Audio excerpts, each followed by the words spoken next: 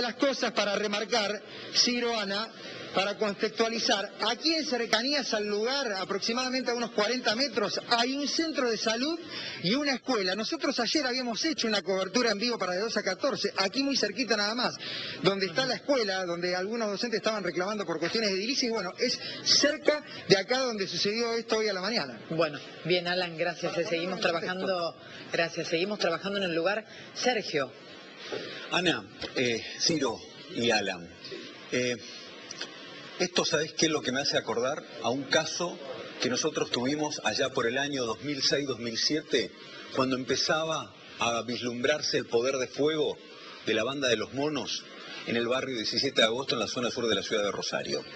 Cuando una testigo de un hecho de inseguridad la apuntaron por haber denunciado y la mataron en la puerta de su casa. En esto sucede lo mismo. Fíjense la cantidad de años que, pas- que han pasado. Ahora, estamos llegando a un límite.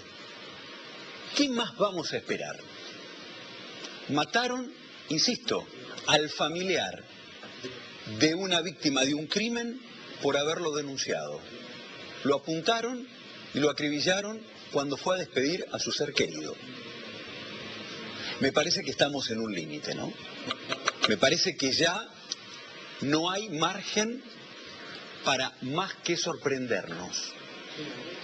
Decíamos ya hace dos semanas atrás, ¿no? Estamos viendo que lo excepcional se ha vuelto normal en materia de seguridad. Y ahora, si dejamos pasar esto como una cosa más, bueno, estamos contribuyendo a los que nos quieren hacer pensar que lo excepcional ya se ha vuelto normal en la ciudad de Rosario.